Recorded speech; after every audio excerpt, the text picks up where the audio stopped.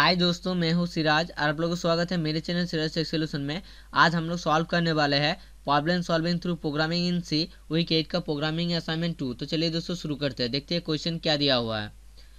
Week eight program to write a C program to find power of a given number using recursion recursion function को use करके हम लोग को एक सी programming लिखना होगा, जहाँ पे क्या होगा? पावर फाइंड करेगा कोई भी नंबर का। The number and power to be calculated is taken from the test case number और पावर कैलकुलेट होगा। और लिया जाएगा कहाँ से? टेस्ट केस से। पहले क्या दिया हुआ है? Hash include studio dot H input output header file standard input output header file then long power long power Q क्योंकि पावर वैल्यू हम लोग को ज़्यादा बढ़ा सकता है, इसलिए long power then under parenthesis integer comma integer parameter pass किया गया then semi comma then integer type का main function then pow comma name integer type का पावर और नंबर दो वेरिएबल डिक्लेयर किया गया then long result long result क्यों?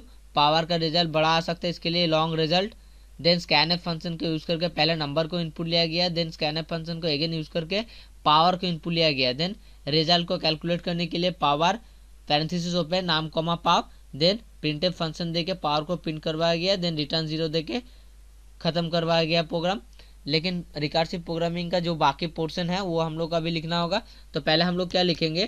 Long power long power under parenthesis int num comma space int pow then parenthesis close कर देंगे।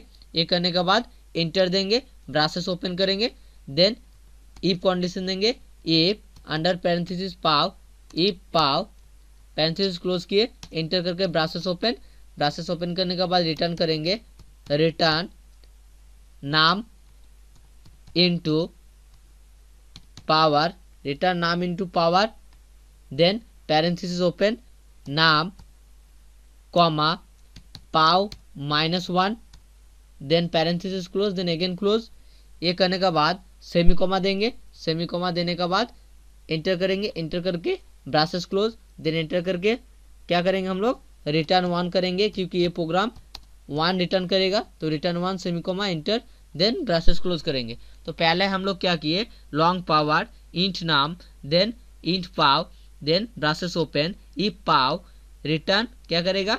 Name into power name comma power minus one then return करेगा one इसका बाद हम लोग क्या करेंगे? कॉम्पाइल एंड नान पे क्लिक करके हम लोग चेक कर लेंगे जो पब्लिक टेस्ट केसेस दिया हुआ रहता है, वो पास किया है कि नहीं। तो हम लोग कॉम्पाइल पे क्लिक किए देन देखिए पास किया है कि नहीं? तो जो two by two public test cases था, वो पास कर चुका है। इसका बाद हम लोग क्या करेंगे? सबमिट पे क्लिक करके चेक कर लेंगे जो प्राइवेट टेस्ट केसेस दिया हुआ रहता है, वो पास किया है कि नहीं। तो सबमिट पे क्लिक कर दिए।